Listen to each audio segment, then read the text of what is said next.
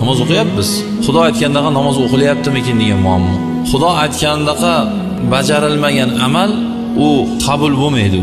U odamni noumid qilish emas bu. Endi namozimiz qabul bo'lmasa e deyishdi bu ahmoq. Nimaga qabul bo'lmabdi? Ha san namozni xolis o'qimayapsan degan.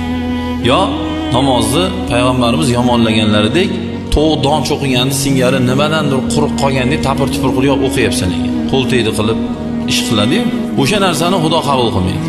Namoz o'qi dedimi do'ndirib qo'yish bismillohni qani aytish kerak? O'shani aytib qo'ying avzini qani aytish kerak? Shuni aytib qo'ying ixlos surasi qani o'qish kerak?